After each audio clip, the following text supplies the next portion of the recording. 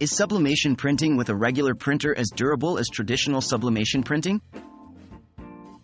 Hello, and welcome to our discussion on sublimation printing. Today, we'll be diving into an intriguing question. Is sublimation printing with a regular printer as durable as traditional sublimation printing? Understanding the differences can help you make the best choice for your printing needs. So, let's dive in. What is sublimation printing? Sublimation printing is a technique that uses heat to transfer dye onto materials such as a plastic, card, paper, or fabric. It's different from the standard printing methods because it involves a special type of ink that can convert from a solid to a gas without going through the liquid phase, a process called sublimation. The sublimation process allows the ink to bond at a molecular level with the material, which results in a highly durable and long-lasting print.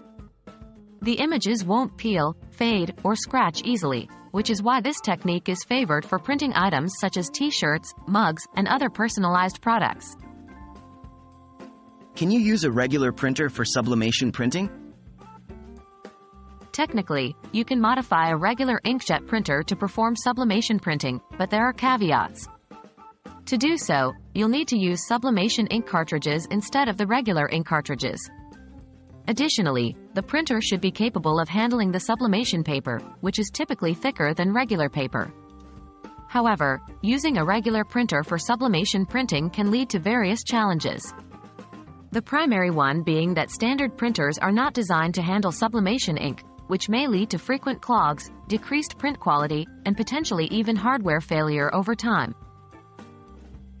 Is sublimation printing with a regular printer as durable as traditional sublimation printing? Now to the core question. Is sublimation printing with a regular printer as durable as traditional sublimation printing? The answer, in short, is no.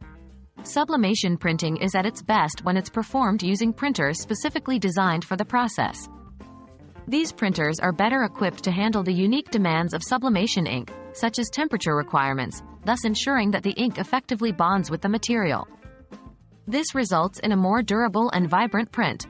In contrast, while you can achieve sublimation printing with a regular printer, it's less likely to offer the same level of durability because the process may not be as efficient or effective, resulting in a weaker bond between the ink and the material.